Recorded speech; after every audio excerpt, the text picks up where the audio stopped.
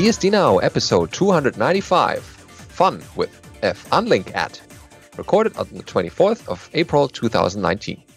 Hello, I'm your host, Benedict Reuschling. And I'm Alan Jude.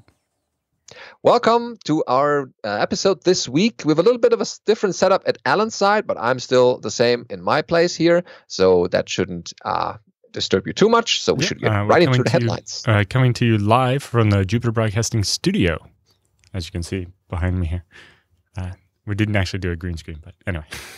yeah, Alan didn't do any redecorating at home. No. So just this week. And um, yeah, we should bring you the headlines for this week, uh, starting with introducing F Unlink at. Yeah. So another blog post from our friend Mariusz Zaborski explaining how it turns out every file you've ever deleted on a Unix machine was probably susceptible to a race condition. Um, yeah. So one of the first syscalls that was ever created on a Unix-like system was unlink. Um, you know, on FreeBSD, this means it's syscall number 10, which is, you know, a very low number. Uh, and in Linux, the number is dependent on the architecture, but most of them, it's usually the 10th one again because history. Uh, this indicates that it was one of the primary syscalls that was first created uh, when the concept of system calls was invented. Um, the unlink system call is very simple and will basically provides you provide uh, the path of a file and that file gets removed. Uh, as the name suggests, it's actually being unlinked from the directory that it's in rather than actually being removed, right? The removing file process itself is interesting, so we'll take a minute to look at that. Uh, first, by removing the file, we're actually removing a link from the directory to that file. Uh, in Unix-like file systems, we can have many links to a single file, right? You have hard links. So just because you unlink one of the entries that points from a directory with a file name to that specific uh, file on the disk doesn't mean that that file is now deleted. We've just removed one of the links. And it's only in the case once a file has zero links to it that that actually becomes free space. So when we remove all the links to a file, the file system can mark all those blocks uh, as not being used anymore. Uh, and depending on the file system, that might actually be very different, but let's not jump into how ZFS works right now. Um, this is why the process is called unlinking and not, you know, delete file or remove file or something like that. Uh, while we unlink the file, two or three different things might happen. First, we'll remove an entry from the directory um, with that file name. So now, you know, the file foo.txt will not be in user home Benedict anymore. Uh, but we also have to decrease the reference count in the inode. So in the file system, each unique file has a unique ID number, basically in the index that says where this file is. And now we're going to reduce its reference count because now there are one fewer links to it. And if that reference count drops to zero, uh, then we get to mark all that space as free. Uh, which doesn't mean the blocks on the disk will be filled with zeros or anything. Uh, that's more up to the file system and, and the configuration and so on. Uh, but in most cases, it just means you mark those blocks as free and they'll get overwritten next time you write something new to that location. Uh, but uh, this mostly means that remove a file from a directory is an operation on the directory and not necessarily on the file itself. You know, you're maybe updating the count in the inode, but you're not actually touching the data on disk. You're just updating the directory that the file happens to be in. Mm. Uh, so another interesting subject is what happens if our system will perform only the first of those steps. Uh, and that depends on the file system and something, you know, we'd have to leave for another time. So, you know, if it's a hard link and you only have to remove it from the one directory and maybe lower the reference count, but not free the space, but that's not really a problem. So uh, the problem with the unlink and unlink at system calls is that they're susceptible to this race condition because they don't provide any guarantee uh, that you're actually unlinking the file you hoped to unlink. Uh, when you delete a file using its name, you have no guarantee that someone has not already deleted that file or renamed that file and then possibly created a new file or renamed a different file to the name you're trying to delete. Right? Oh. So when you do unlink or unlink at, you provide the name that you want to remove. Uh, but in the time between you decided on which file you wanted to delete and you asked the system to delete it, something could have changed. Uh, so when you delete a file uh, using its name, you, again, you have to get here. Uh, we have some stats about the file that we want to unlink. We perform some tests. Uh, you know, sometimes that's you know who owns the file and do we have permissions and so on. Uh, and sometimes another process will have removed that file and recreated the file. right? So if if you're about to say go delete varlog messages, but it happens to be around midnight, and new syslog is just renamed varlog messages to varlog messages.0 and created a new empty file called varlog messages. Uh, well, when you call unlink, uh, you're between the time you decide my log file is too big, I want to delete it, and when you go to delete it, it's been moved and some new file has been created, and now you just deleted the wrong file. Uh, Hmm. And so, Oops. what do we do? You know, it's a classic race condition. So uh, many programs will perform checks before trying to remove a file to make sure that it's the correct file or that you have the permissions or uh, whatever, and that exposes what's called a time of check versus time of use class of bug, where when we checked it was the right file, but when we went to go delete it, it wasn't the right file anymore. Just because somebody else, you know, there's always a chance in a multi-user or multi-threaded system that someone else might have touched the file or did something in between.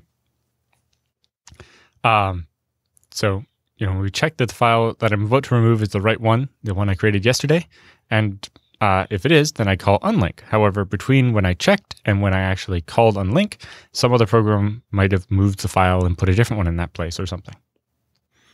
Uh, you know, especially if it was someone malicious, they might have managed to swap it with some file I they couldn't delete, but I could, uh, and caused me Ah. to delete the wrong thing or something.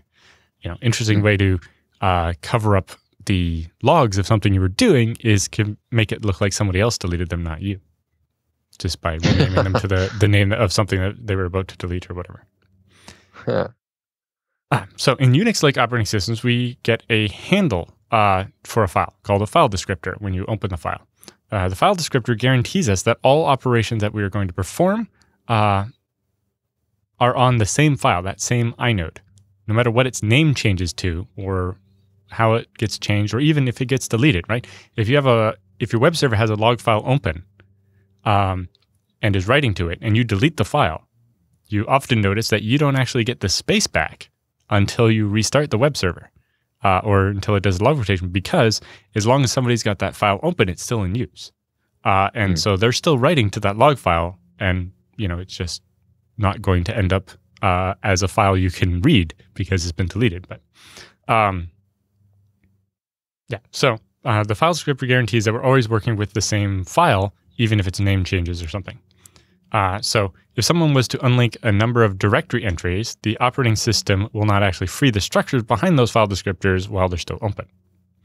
Um, and that's why we have things like the fstat command, which allows you to get it's uh, you know you use stat on a file and you see the information about that file.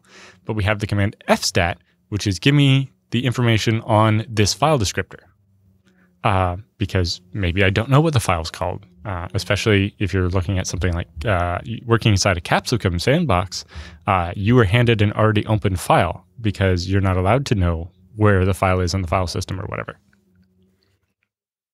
Uh, so we already know that the file may have many links on the disk, uh, which point to a single inode. So you can have multiple names for the same file. What happens when we open the file? Uh, simplifying, the kernel creates a memory representation of the inode called a vnode, uh, and this uh, single operation uh, is used, or that single representation, the vnode, is used for all the open copies of that file, even if you know 100 different people have that file open. Uh, if in a process we open the same file, the same inode, using different names, uh, for example via hard links, all of these files will be linked to the single vnode.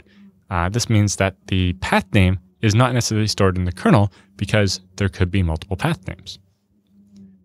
Hmm. Uh, Yep. So this is basically the reason why we don't have an f unlink function, uh, where you could just delete a file by its file descriptor because it'd be ambiguous, right? There's actually four links to this file. Which one are you trying to remove?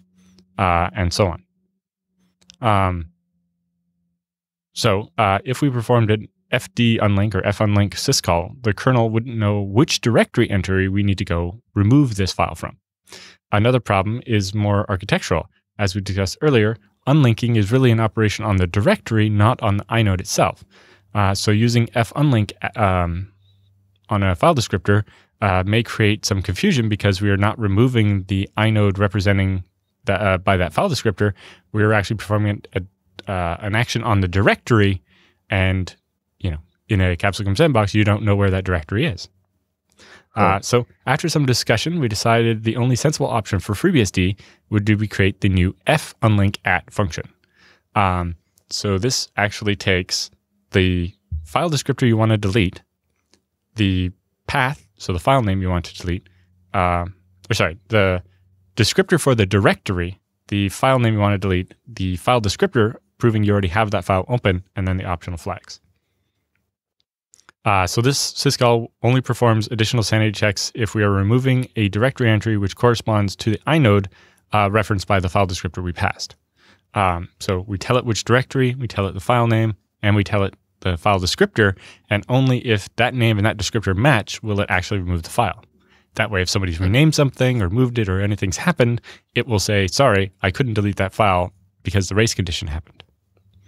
Uh, mm. The API um, will check if the path opened relative to that directory file descriptor points to the same vnode. Uh, and you know, thanks to that, we now remove the race condition uh, because all of these sanity checks are performed in the kernel while the file system is locked, so no other change can be happening in between the check and the delete. And uh, in addition to providing this extra stuff for the Capsicum sandbox, it also has the very useful purpose of making multi-threaded programming safer.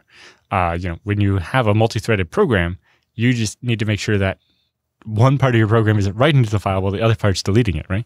Uh, or vice versa, um, and so on. So the file descriptor parameter can also be set to the fd none uh, macro, uh, which will mean that the sanity check should not be performed, and f unlink at will behave just like unlink at, and that's because the unlink at has basically been replaced with f unlink at with calling it. It just calls the other one with that extra parameter. Uh, as you can notice, uh, we often refer to the unlink syscall, uh, but in the end, the APIs look are if you call unlink, you're actually nowadays calling unlink at anyway, and so switching that to actually calling f unlink at wasn't uh, any more difficult. Okay. Uh, so yeah, these days unlink is simply using the same code as unlink at yeah, so we don't need to rewrite the whole whole operating system just for that uh, system right. call. But or more importantly, we don't end up with two different unlink at functions uh, that are kind of copy pasted of each other. Instead, mm-hmm. everything's actually using the new funlink at by just calling it with the you know the file descriptor set to none, uh, so that it falls back and works the same way as it always did before. Good. Yeah. So thank you to Marius for writing that up because it was actually a slightly complicated uh, concept and it makes it easier for people to understand. Mm, yeah. Okay, uh, next up we have uh, upgrading an OpenBSD router with AT&T U-Verse uh, over at Joshua Stein's blog. And he writes, I upgraded to AT&T's U-Verse gigabit internet service in 2017, and it came with an Arris BGW 210 uh, as the Wi-Fi AP access point and router. So the BGW 210 is not ter- is not a terrible device, but I already had my own AirPort Extreme access point wired throughout my house and an OpenBSD router configured with various things. So I had no use for this device. It's also a potentially insecure device and has a link to more information about that, uh, that you can't upgrade or fully disable remote control over. So, fully removing that BGW uh, is not possible, as we'll see later, but it is possible to remove it from the routing path. And that's how he did it with OpenBSD. So, uh, 802.1x. Uh, when the service was originally installed by AT&T, a fiber optic cable terminated at an ONT in his basement, which then connected to the BGW210 via Ethernet. So he tried swapping his OpenBSD router in place of the BGW, but it could not get a DHCP lease or receive any traffic from the ONT despite a properly negotiated Ethernet connection. So after some uh, packet capturing uh, between the ONT and the BGW, he learned that the BGW does 802.1x EAP authentication with a certificate installed on a device, and all traffic is encapsulated in an 802. Uh, 802.1q VLAN with a VLAN ID of zero. Uh, until this negotiation is performed, the upstream device will not respond. And so you had to proxying that, uh, or had to proxy this EAP. Uh, while he's not the first person to want to use their own router at AT&T's U-Verse service, so there are already some software solutions out there for proxying the EAP. And so he went to EAP underscore parrot, uh, since it was small and written in Go, and only needed minor changes to support OpenBSD, which the author has since merged. So you can see uh, the package add go command and uh, pulling down some of the dependencies and building those. And then it's just needing a small configuration file uh, in eap underscore parrot uh, dot toml, and that has a network section and uh, needs to needs to know about the devices for the uh, remote servers and the router interface and some uh, information about uh, logging and some stuff that should be ignored. And after that file is uh, created, an etc rcd EAP parrot script can be created and then enabled to run on boot with rcctl. And then the daemon should start at your next reboot. And after a test run with EAP Parrot, uh, he was able to get an IP from OpenBSD via DH client. And so here's a little picture of his uh, network setup and some, uh, of course, an ASCII diagram because why not? And you can see how the setup works and which IPs uh, are on which uh, side of the, the switch and of the uh, BGW. And so it uh, continues uh, with setting up the host names and for the VLAN 0 and the EM0 network card so that everything has a nice name that you can remember without remembering IP addresses. And further down, there's a section about IPv6 setup. So because AT&T uses DHCP v6 for IP6 connectivity, he's using the DHCP CD package for both IPv4 and IPv6 DHCP. And there's the DHCP CD config file so that people know how to set that up. And of course, uh, further down, there is uh, the rest of the setup showing how the packages are uh, looking inside uh, in a wire, uh, well, it could be wire uh, shark capture or just TCP dump. And um, at the end, you can see that the long string sent at the DUID must be configured with the HCP CD and that's a little edit for your um, DUID setup so that has the UID in it. So that's fairly straightforward, and you can see even if you're on some proprietary hardware, you can still put in some OpenBSD or some open source software in there. Yeah, uh, you know, a lot of the cable companies have the remote provisioning stuff set up so that they can just send a new configuration to your router. Uh, and you know, if you've changed some things, having them just undo it with their thing uh, mm. is annoying. And, you know, for privacy reasons, sometimes you don't want your ISP to have access to do things like that. And yeah, uh, it's interesting that AT&T is using the authenticated Ethernet stuff to actually uh, prevent rogue devices uh, causing problems on their network, or even possibly for people trying to steal user service. I don't know, uh, but it's nice that they managed to get that to work.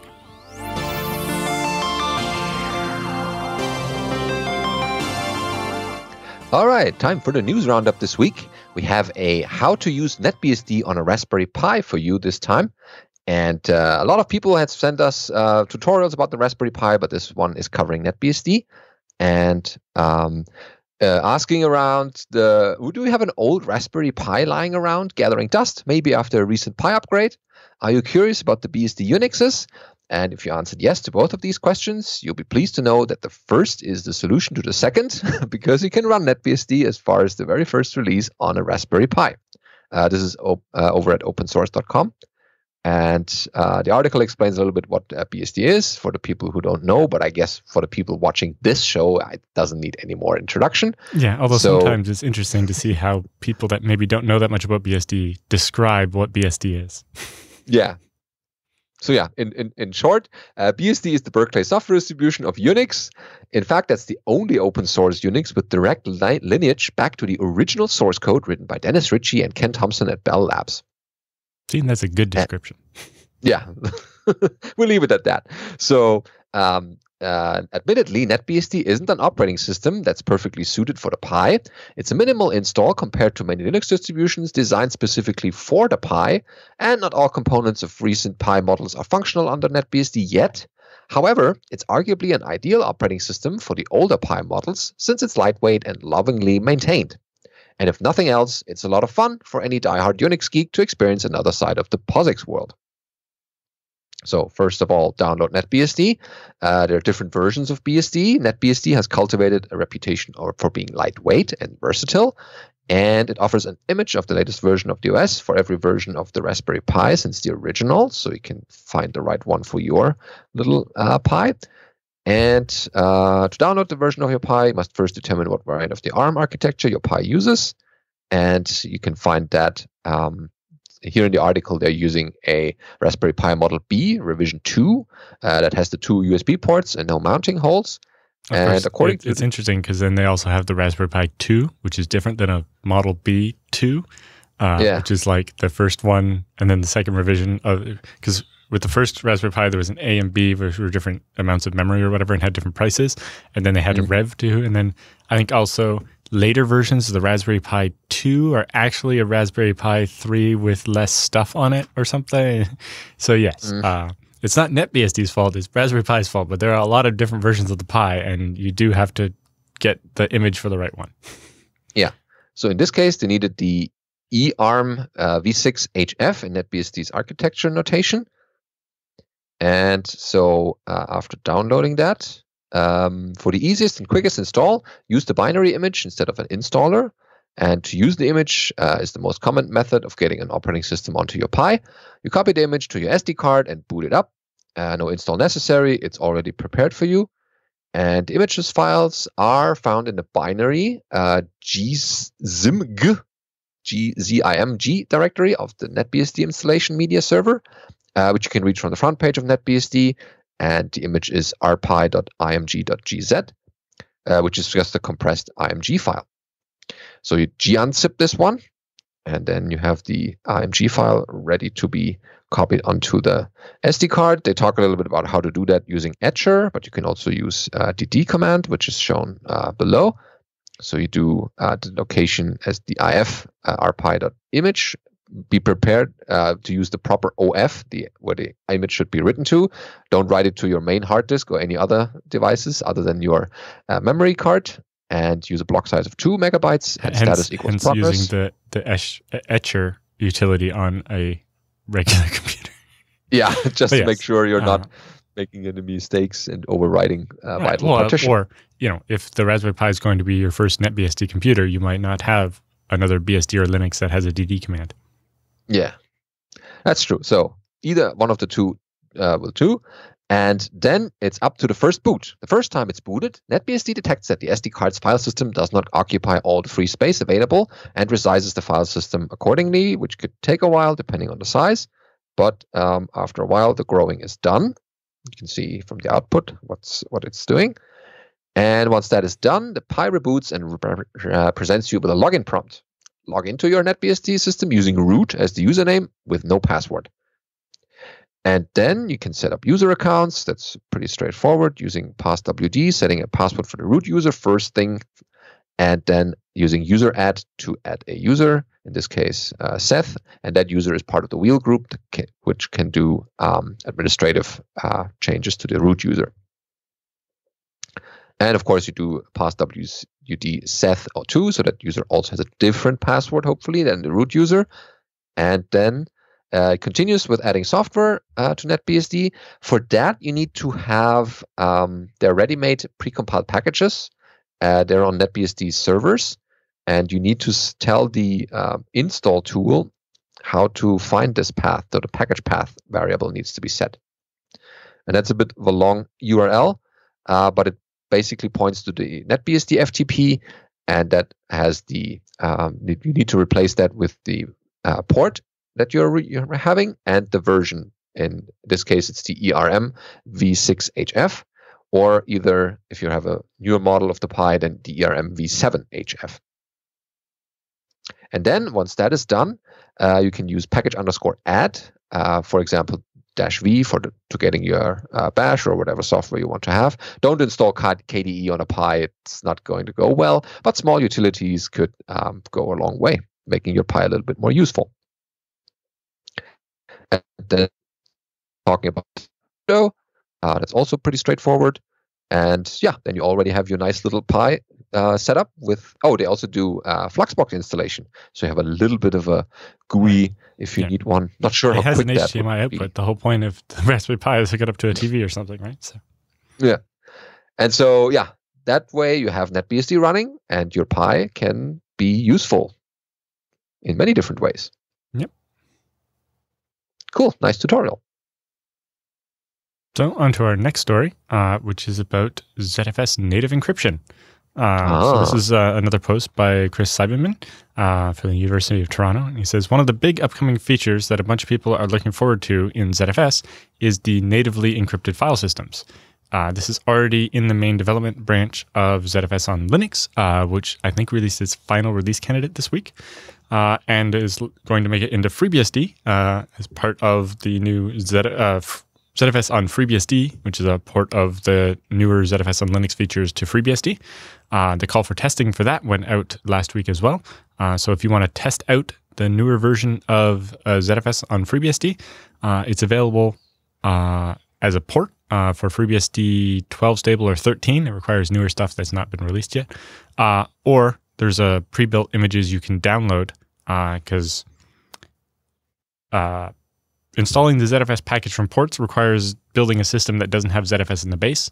Uh, otherwise, the ZFS commands in like user bin or whatever are not going to be in sync with what kernel module you load. Anyway, um, there's instructions and images already built. Uh, they're up. You can find them on the FreeBSD stable or FreeBSD file systems mailing list archive if you aren't subscribed. Uh, anyway, so you can test out uh, some of the stuff on FreeBSD already. Anyway, uh, Chris goes on to say it will likely make it into Illumos as soon as the Illumos people are uh, get around to pulling it in. They've been testing it for a while and finding bugs, so that's good. And he says people are looking forward to native encryption so much, in fact, that some of them have started using ZFS and Linux already, either using the development branch 0.8 uh, or some of the release candidates like RC3. People uh, either doing this or planning to do this uh, show up on the Z- ZOL mailing list uh, quite often, sometimes with problems.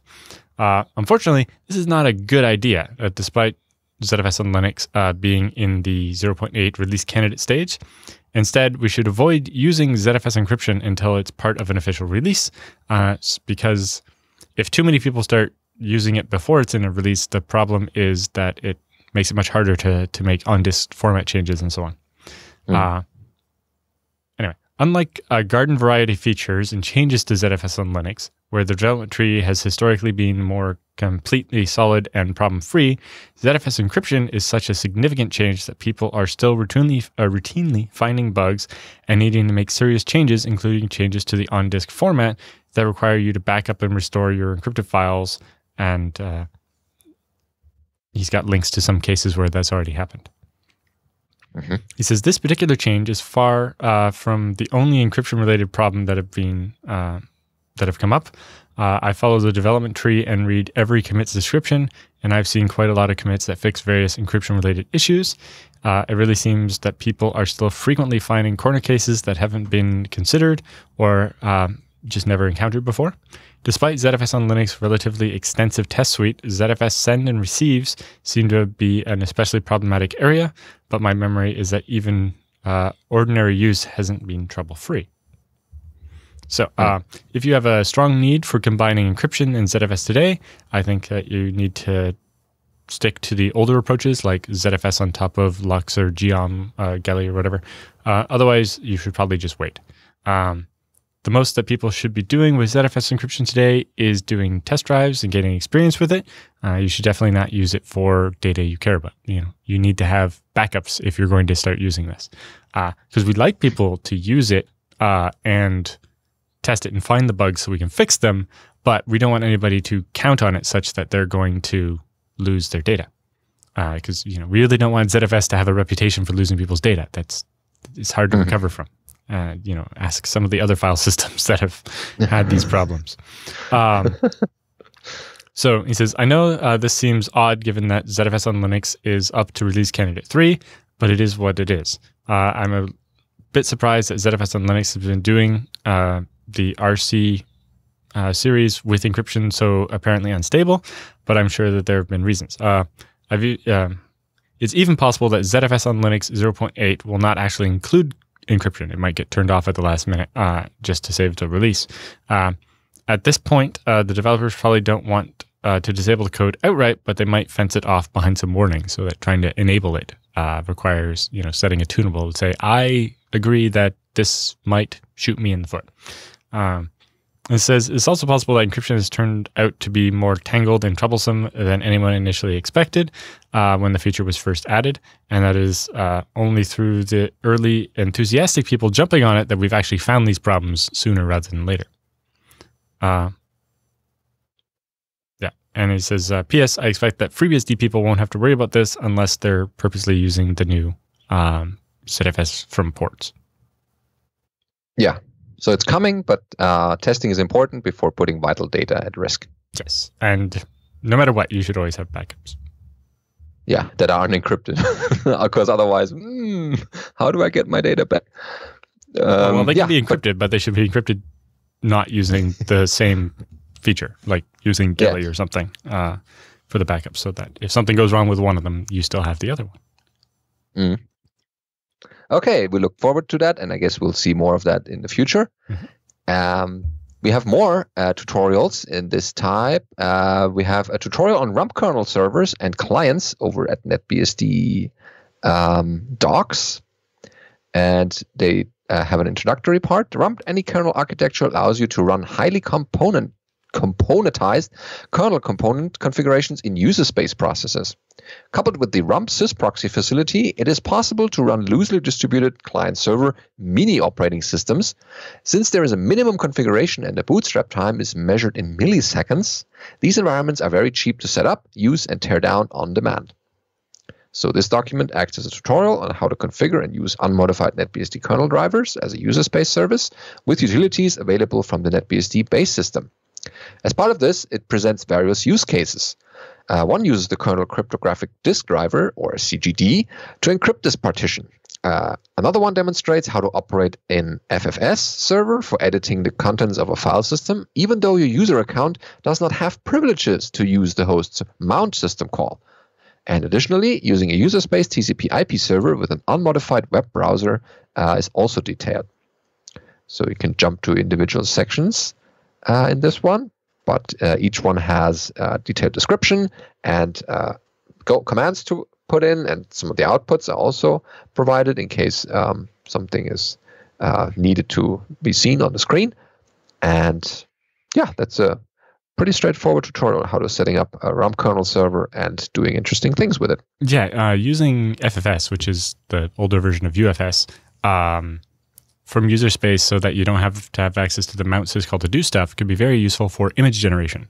If you're, say, compiling and, and building an image for a Raspberry Pi uh, and don't have root, um, it can be hard to make you know an MD uh, a memory disk device and then you know partition it and write all the the file system to it because you don't have access to the mount commands and UFS and so on.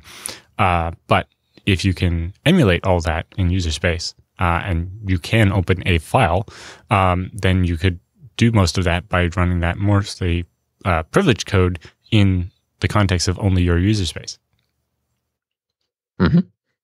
uh, which is quite interesting. And I'm not sure exactly what the TCP/IP uh, bits would do, but uh, it's kind of interesting to see how you would combine those and do interesting things. Yes, and especially the setup time in milliseconds is uh, an interesting prospect. Wait, so this is if you're uh, basically booting this mini operating system that's running in user space, then yeah, it boots up really quick.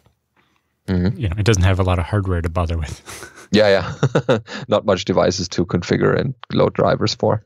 Yeah, uh, you know, as Colin found when he did the the boot time survey on FreeBSD, a lot of the time is spent, you know, poke a device and then wait to see, you know, has it left a message for me to go pick up or whatever. You know, it, hmm. reboot the keyboard. Now wait, wait, wait. Okay, now the keyboard's ready to use. yeah, yeah, and uh, that overall takes uh, a lot of time on a big server. Mm-hmm. So yeah, try this out and uh, see if it's useful for you. All right, and the last story during the roundup is installing Snort on OpenBSD 6.4.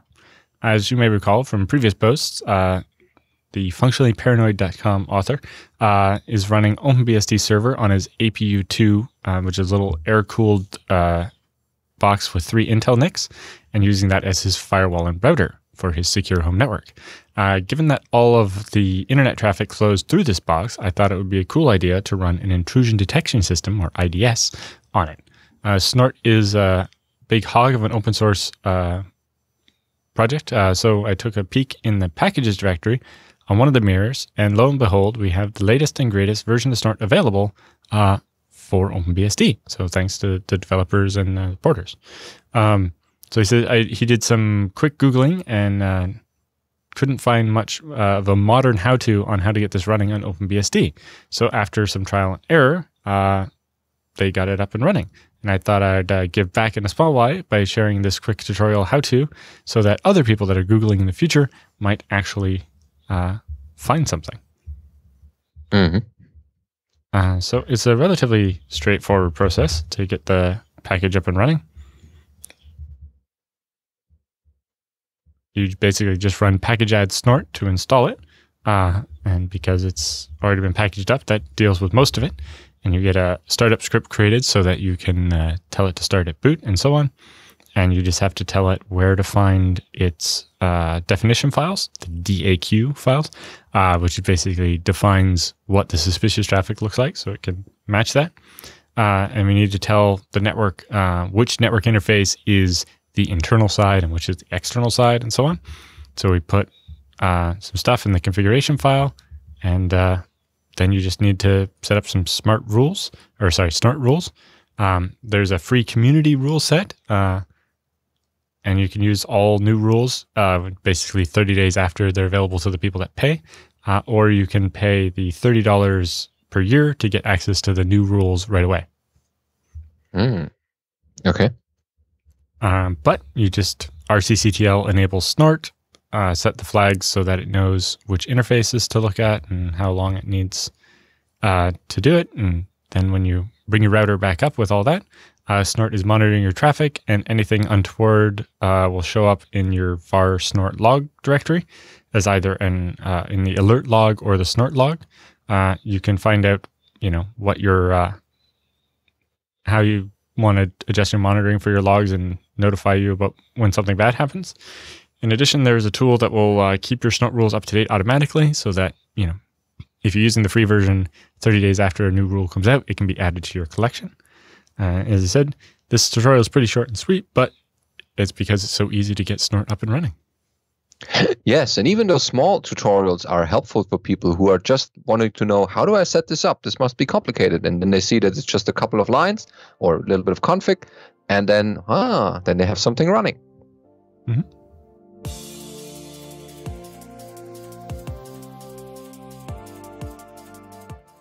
Time for Beastie Bits this week, starting off with OS 108.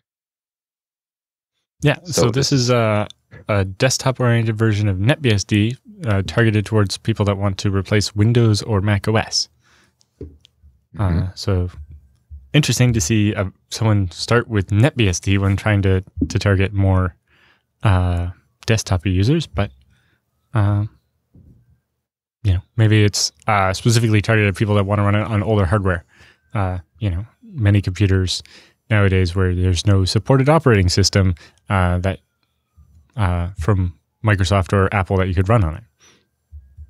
Uh, so they have a little FAQ including why they picked the name OS 108. Apparently, the one and zero are the binary bits, which represent the eight different forms of a byte. Uh, and also, the distance uh, to Earth from the sun is about 108 times the diameter of the sun, hence the name and the, hmm. the logo is called the Vyom, uh, which is stands for space. Oh, okay. So yeah, uh, there are ISO images to, available. Mm-hmm.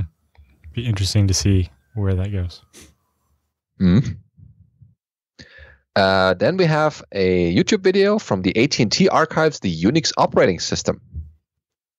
Yeah, some of these uh, old videos are pretty entertaining. Uh, including the graphics, especially. uh, but talking about, you know, uh, making computers more productive using Unix. because you know that was actually a thing at the time. Oh Uh, yeah. but very 1980s style videos, uh, and they're quite amusing to watch. well, in a couple of hundred years, they will watch our videos and then think these were these were crazy. But um, we're not there yet. Yeah. So, um, yeah, that's a little bit of nostalgia here. Uh, speaking of then- entertaining, yeah. Our next item is uh, adapt to industry-wide current best practices. yeah, industry-wide current best Uh, practices. So they uh, hard coded into the OpenBSD HTTPD. Uh, if the user agent uh, happens to contain the string curl, then return 403 forbidden. yep. So that's a good change. because security. Yeah, no one wants wants that to happen. Uh, uh, that's not actually real. That's just an April Fool's joke. And I guess we were a bit late getting to it, but uh, not my fault. Yeah, we we wanted to to mention it still so that Yes, people was a good one. have a little fun. um, and then we have quotes from a book that bashes Unix. Huh. Yes. Uh, People are including saying already- things like uh, contributors compared Unix to a virus. Unix possesses all the hallmarks of a uh, all the hallmarks of a highly successful virus. In its original incarnation, it was very small and had few features. The minimality of the design was paramount because it lacked features that would make it a real operating system, such as memory mapped files, high speed input output, a robust file system, uh, the record file, uh, record file and device locking, uh, rational inter-process communication, etc. ad nauseum. But it made it was portable. Uh, a more functional operating system would have been less portable. Unix feeds off the energy of its host. Without a system administrator babysitting Unix, it regularly panics, dumps core, and halts. Unix frequently uh, mutates, kludges, and fixes uh, to make one version behave won't work well on another version.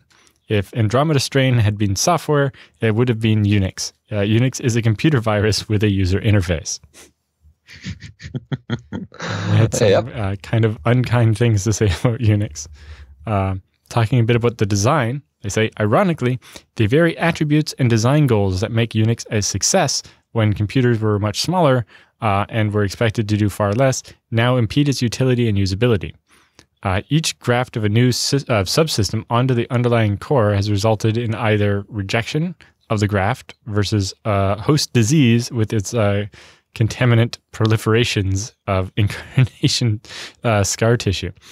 The Unix networking model is a cacophony uh, or cacophonous babble of unreliability that quadruples the size of the Unix famed compact kernel. Its Windows system inherited the cryptic unfriendliness of a character based interface, while at the same time um, realizing new ways to bring fast computers to a crawl. Its new system administration tools take more time to use than they save. Its mailer makes the US Postal Service look positively stellar. yeah. okay. Somehow I don't think we would be where we are today without Unix mail actually working. So I'm not sure what this guy's on about. yeah, and there's a typical story about file deletion in Unix systems. I too have a, had a similar disaster using RM. Once I was removing a file system from my disk, or, or a file system, yeah, from my disk, uh, which was something like slash user slash foo slash bin. Uh, I was in slash user slash foo, and I had removed several parts from the system by rm dash r dot slash etc and uh, rm dash r dot slash adm and so on. But when it came time to do dot slash bin, I missed the period. System didn't like that too much. So Unix wasn't designed to live after the mortal blow of losing its slash bin directory. An intelligent operating system would have given the user a chance to recover, or at least confirm whether he really wanted to render the operating system inoperable. No. It's really annoying when it does that. Do what I say. It's I, I know what I'm doing. This food mm. shooting is a thing I want.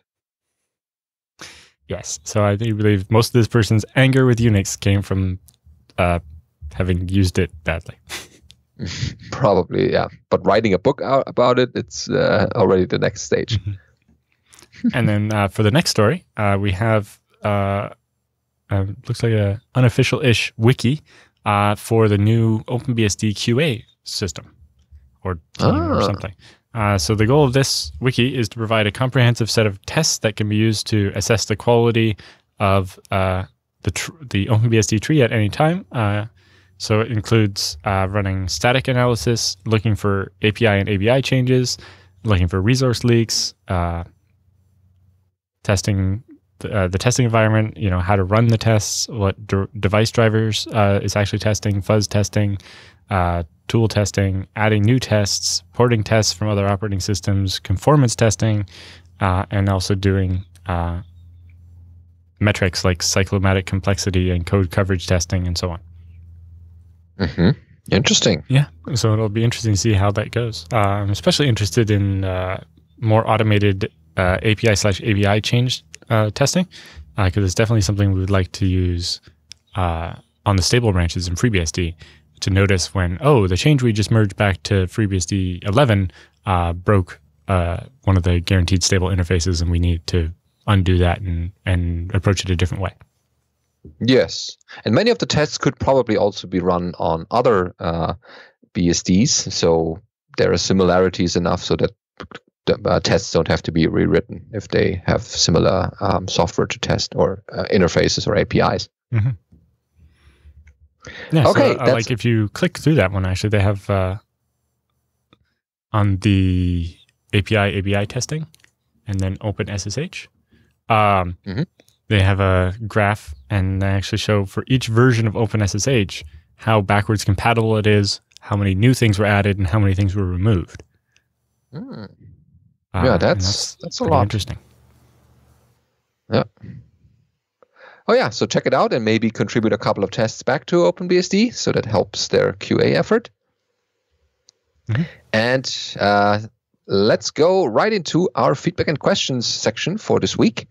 And as always, if you want to have this section uh, continue, then you should send us questions. Anything that you found, uh, anything that you are uh, curious about or don't understand, then give us a little mail at feedback at bsdnow.tv and uh, then we'll cover it in future episodes in exactly this spot. Uh, the first one who did this uh, is Malcolm with uh, laptop experience. A question about the Dell XPS 13 in particular, and goes like this. In a recent show, a listener was asking for a laptop discussion, and I'd like to toss my experience there as well. I'm using the 2018 model Dell XPS 13 Mode 9370, he thinks. Uh, the laptop is awesome. It's well built and small. Battery life is great, but there are some quirks in there that one has to be willing to put up with. So, some specifics networking needs work. Built in Wi Fi doesn't work, unfortunately. It's being worked on, but he has no idea if it will be supported. Uh, he uses a Wi Fi dongle, which works well enough for him to uh, have it not being lame and slow. And Yeah. the next um, thing- so Wi-Fi Broadcom has always been a pain in that regard. Uh, it's too bad that Dell doesn't use Intel Wi-Fi. Um, progress is being made, but yeah, it's hard to say. And he has not had uh, looked hard, but he has yet to find a USB C Ethernet dongle that works with FreeBSD. Using a USB C dongle, he connects a regular USB Ethernet adapter, and that works fine. I'll have to check because I did get a USB-C Ethernet dongle that works on my Mac, and I'm pretty sure it worked fine under FreeBSD. Uh, but I will double check that because I don't want to tell Mhm. you to go buy that one if it doesn't work. Yeah. but uh, I mostly use the USB C port on my laptop to charge my Lenovo with my Mac charger yeah. because carrying one one charger instead of two is is better. yes, then he goes on to the graphics part. Uh, pretty good, he writes. When watching video at full screen, I do see refresh lines or whatever they are called. So it's not as good as watching as on a Mac or Windows machine, but good enough for him. Yeah, Okay, I, I see the same on my uh, X220 that's strapped to my exercise bike, uh, and I've not looked into what I can do to make it not do that. Uh, screen brightness works, and he has not gotten the webcam working, but haven't worked hard at it. So Um, that's probably. Somebody should do a nice tutorial on webcamd on how to get that working. Uh, I've done it before and got it working, but I don't remember what I did. Because I've used the webcam on my older Lenovo before, not this one. I have not tried this one. Um, but I've definitely used uh, Lenovo USB webcams under FreeBSD very successfully. Uh, we do this at work all the time. Uh, But yes, Hmm. if, if somebody is interested in helping out with something, uh, a little tutorial on using webcamd and maybe uh, OBS, Open Broadcaster Studio, uh, to stream from your webcam uh, would be a good tutorial. Then he continues with the sound. Uh, needs work, but he hasn't tried hard on it. Uh, speakers work fine, although not super loud. He's almost always at 80 to 90% volume. Uh, might And- try the mixer command. Uh, Ah, yes. and sometimes it defaults to 50 and if you boost that one then the other volume control won't have to be quite so high and you'll get less distortion or whatever it can depend And he has not gotten sound to work phones in. Uh, so with the his phone for headphones such things. um, there are some patches that went in recently for that you might be able to go back to but i think it's a matter of uh, there's a sysctl to tell it which pins do what uh, or something and it's required so that when you plug the headphones in it switches the sound over um, Yeah. yeah And uh, microphone is also not working, but he has no use for it at this time. So um, that's okay. Suspend and resume. That's what most people are looking for. Mostly works. Uh, about one hour of every 40 resumes, it hangs. Oh, no, sorry, not hour. About one of every 40 resumes. It hangs and uh, he needs to reboot. Uh, this is a known issue, and someone is working on it when they have time. Something to do with NVMe resuming. Ah, so the main issue I have with NVMe resuming on my machine, although it's probably a different NVMe, uh, is that sometimes it takes about five seconds for the NVMe to wake back up, or actually to time out and be reset to wake up. Uh, and so the disk doesn't actually work for the first five seconds after resuming, but that's not that big a deal. Okay. Um, I've, I think I've seen a, a fail to resume one time, uh, and it was a bit weird. Uh, and then the next thing, uh, he says uh, one in every sixty times or so, he has uh, failed to suspend. I had that one one time. Uh, it was at BSDCam actually when I was sitting beside one of the graphics people, so it was handy. but I suspended it, and like the power light started blinking and everything, like it was suspended, but my screen was still lit up with what was on my screen. So the laptop thought it was suspended, but it wasn't, or something. It was very strange. uh, and so the email goes on to say, "This really sucks because you can't even test to see if it's suspended without unsuspending it. Uh, mostly, this happens rarely enough uh, that I don't care too much. Um, but it reminds me of the problem Colin Percival saw with his at one point, where uh, he had told it to shut down, but he closed the lid before it had quite finished shutting down, and so it suspended instead." and his laptop got, or, or maybe it didn't suspend even. Uh, his laptop got really hot in his backpack when he thought it was off. Ooh, yeah, that can cause issues.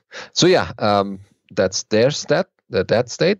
And in the other section, he has I do a lot of work on Linux, so I run on bhyve, uh, works great, and screen sharing on Hangouts work. But Microsoft Team wants a plugin installed, which he hasn't done yet.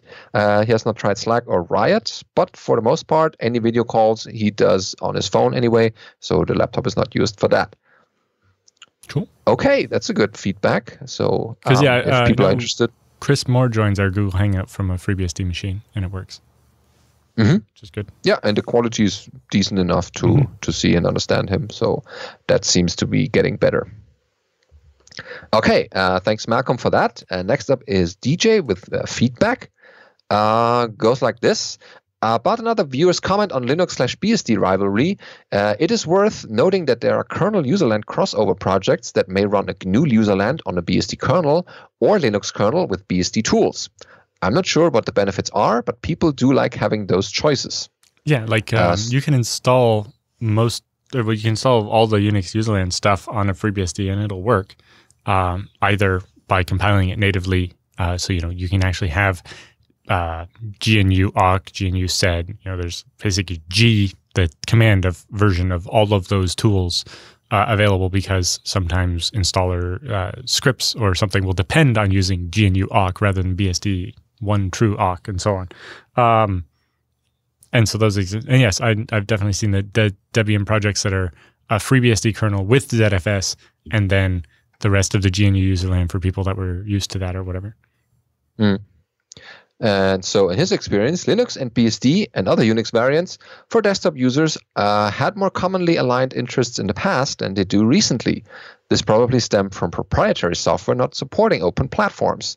Uh, the FLOSS community would actively develop portable slash cross-platform FLOSS alternatives, and other vocal advocates, usually in the Linux camp, would pressure software vendors to open up or at least support Linux. Usually, the whole FLOSS ecosystem would benefit from these activities. Lately, at least since the emergence of certain closed platforms becoming popular with Linux desktops users like Google Chrome, Google Hangouts, Voice and Video, Skype, Slack, Spotify, and the list goes on, and other less portable open source technologies dominate Linux desktop. Electron, various Chrome only web apps, Flash, still, uh, hideous bash scripts with Linux blobs for certain distro, etc. Uh, the vocal Linux advocates do not seem to care as much if other open platforms, including Linux distros that do not support systemd, Electron, Snappy, cannot run these. Yeah, it seems that uh, a lot of the people that were very everything needs to be open so we can use it uh, have have given up that fight now that it works for them, and they mm-hmm. don't care about everybody anymore. There um, seems more and more Linux people are are siding with practicality rather than I actually need my software to be free. Yeah, works for me, not yeah. You know, when it didn't work for, for them, yeah. everything needed to be free and open. But as long as the blob works for them, they're they're fine with it now. Yeah, there could be a little bit more sharing and uh, helping each other in that regard.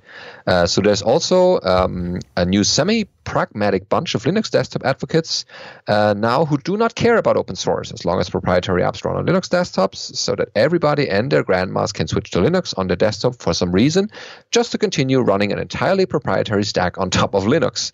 I'm not sure what the end game is there, but it has changed how open source desktops work nowadays. Projects that care about open source are often left in the cold. Ironically, with the many troubles of GPL3 complexity and uncertainty, and the BSD license being more permissive, uh, I would think that a desktop platform running on TrueOS plus Trident or something BSD based would be a friendlier home for proprietary app development if people really cared about proprietary apps on a desktop. These days, virtualization is always an option as well, including bhyve, VirtualBox, QEMU, Xen, and uh, HAXM, which came up recently. Uh, closing the loop there, I agree with Alan and Benedict that the rivalry is mostly friendly and there is a lot of exchange, although lopsided. I think visibility and advocacy are also still big hurdles for BSD, as many people simply do not know about it let alone uh, how awesome it still is, and that most open source Linux software compiles and runs natively just fine on most BSDs. Or if it doesn't, it could with just a couple of small changes. And uh, so that's why the advocacy stuff is so important. We need to, you know, go to Linux user groups and Linux developer meetups and Linux conferences and make sure that they know the BSDs are there and they're willing to help. And if the Linux people are open to just taking a couple of changes, uh, their software could be work uh, work in more places. Yeah, and so we'll it's it's a constant uh, engagement with people and telling them yes this is not finished or it should also work here not just only on, on your system so that there's a lot more people who can uh, benefit from that. And there's sharing and things get contributed upstream and, and back to people. So it's not just a one-way street. Yeah. And we're having the same conversation in the the zfs leadership calls now of all right um, we want to stop individual platforms from making unilateral decisions that the rest of the platforms are going to have to live with because it's already done. Uh, so we're going to have these discussions, but the discussions can only include those who are going to show up. Uh, so you know, if FreeBSD wants more input on what happens uh, in the future of ZFS, then people need to show up. And luckily, uh, in the ZFS calls, we have Alexander Motin, Josh Paetzel, uh, and myself and a bunch of other uh, FreeBSD ZFS people, making sure that ZFS or that FreeBSD's interests are expressed there, and that you know as we continue to build out uh, OpenZFS, that it works on all the platforms, and that the design decisions consider all the platforms when they're being built as well. Mm-hmm. Yeah, so that it's not just. Uh, but yeah, for for the Linux desktop stuff, it basically requires BSD to show up, which we did for a while and then didn't for a while and are trying again. Uh, and so it's important that we actually show up uh, and and make sure that people at projects like Mesa and KDE and GNOME and so on uh, consider that we still exist and that uh, there's value to to them in working with BSD. Yeah, exactly. All right. Um, Next up is Alex uh, with GhostBSD and Wi-Fi fixed. So that's a follow-up to a previous question, I think. Mhm. Uh, so he writes, I was able to follow up the advice in this crappy video to edit the bootloader conf file. So there's a YouTube video he's referring to. Uh, then I followed the instructions on GhostBSD wiki uh, with the link there with the Wi-Fi doesn't work entry. So the loader.conf entry is probably loading the firmware for the Wi-Fi device. Uh, newer Wi-Fi devices, to save money, don't include some flash memory to hold the firmware, um, and this way, the operating system just loads firmware from a file, uh, and it means it's easier to update as well. Um, but it means if it's not loaded, your Wi-Fi card doesn't work. Okay, and then you had to edit your WPA supplicant file in slash etc uh, with a couple of entries. So maybe that's helpful to someone um, missing just those bits to make it work. Thanks Okay. for the follow-up. Nice. And that pretty much wraps up our episode this week. Uh, next week, we'll bring you the latest and greatest, as always, from the BSD uh, ecosystem. And uh, until then, if you have something found yourself or have a question, again, send it to feedback at bsdnow.tv. And then we'll see you next week. See you next week.